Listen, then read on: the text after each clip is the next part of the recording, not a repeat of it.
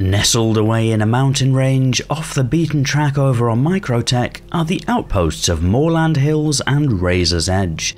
A combination of clifftop overlook and flatland farm, it's an interesting and unique destination to visit in the verse. I'm Farrister, and enjoying some of the places to go out and explore in Star Citizen is one of the main reasons that this location spotlight series exists. So, you're invited to sit back and enjoy as we head off the beaten track and visit these outposts on Microtech.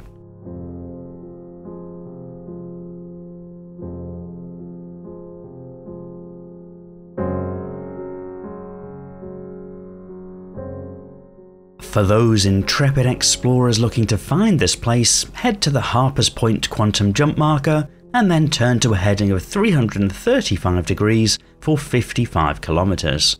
The outposts are fairly obvious during day and night owing to the red light at the top of the towers of each.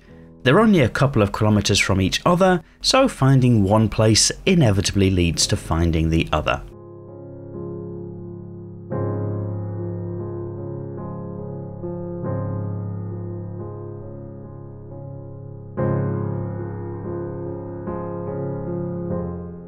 Up top on Razor's Edge, there's a tall tower surrounded by some outbuildings and decorative structures and props. The view all around is pretty cool to see and is reason enough to venture up. The crow's nest is a particular highlight, showcasing the mountains all around and celebrating Microtech at its best.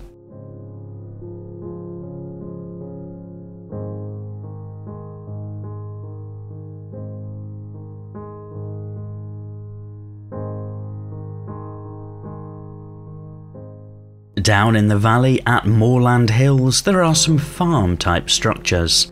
It's often possible to find some gemstones and some loot crates filled with goodies. All of the NPCs at both locations are fairly friendly towards law abiding citizens.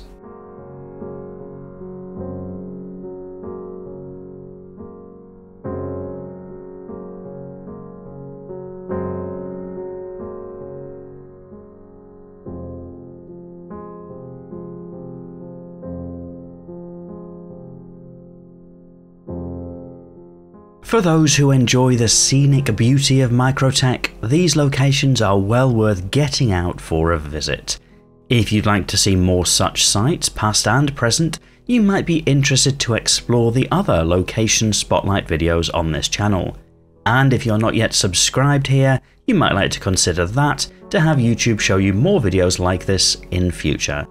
If you'd like to see more videos like this made for the channel, please do press that like button as it's helpful for me to know what videos to focus on. In any event, I'll be sure to read your thoughts in the comments below, but otherwise and as always, thank you for watching.